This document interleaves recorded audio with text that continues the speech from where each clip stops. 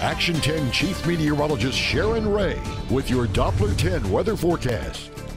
Good evening. Well, we started the day with a lot of sunshine. It was a pretty nice Friday out there as we saw those uh, high clouds starting to increase. You can see this is our Kingsville time lapse here, and you can see the clouds starting to become a little more uh, thick, and they're coming in from the west. Those will be continuing to move in tonight and through the weekend. At the same time, we'll start to see our low clouds returning off the coast.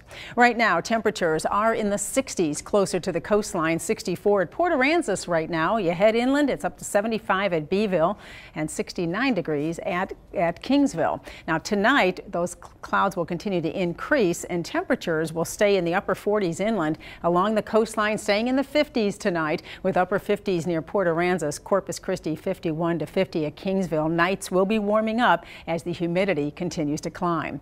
Tomorrow, your forecast still looks pretty mild out there. It's not going to be warm. We're looking at very mild conditions, a little cool in the morning in those 50s and only reaching uh, in in the low 70s in the afternoon inland.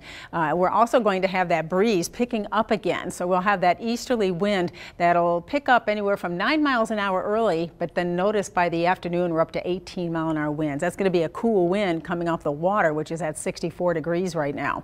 So the high temperatures tomorrow, you can see closer to the coast, will be affected by that onshore wind coming in from the east, staying in the mid 60s to the low 70s as you work your way inland tomorrow, a little bit warmer in the low to mid 70s as we see those mostly cloudy skies. So if you're heading to the beach, don't expect much sunshine tomorrow. It's going to be mostly cloudy and a bit cool at the beaches uh, for the start of spring break. Temperatures in the mid 60s. And we also have a moderate rip current risk. So be careful with that if you're going to get in that cool water. The water's 64 to 65 from Bob Hall Pier to Port Aransas.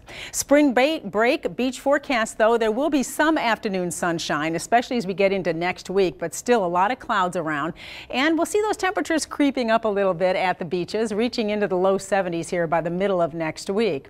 So right now we are still under that drier air from that surface high pressure to the north, but it's quickly going to go away with our easterly wind now. As the high is pulling off to the east, winds will shift to the east southeast and our onshore flow will continue. Meanwhile, in the upper levels, right around 15,000 feet I noticed on this morning sounding, we had a lot of high clouds coming and that's where the winds change direction and start to move in. Those are the ones we're seeing in our sky right now, and they will increase tonight. So tomorrow, a lot of those in the sky for a mostly cloudy day. Starting the day, this is 5.30 in the morning, a little cool, and making it into those upper 60s and 70s, staying in the mid 60s right at the beaches tomorrow as we head into the afternoon, and we have that breeze picking up. Notice the direction of the clouds changed here. You notice they start coming in more from the coast or from the ocean. That's our onshore flow. We'll have more low cloudiness Sunday, but we may see those clouds break up a little bit in the afternoon and temperatures will be a little warmer Sunday. That'll be the beginning of our warming trend as a ridge of high pressure aloft continues to build. It looks like that's going to be dominating our weather here as we get into next week. So there's hardly any rain in the forecast. If we're lucky, we'll get a stray shower here and there, but it's not going to help out out our growing season at this time.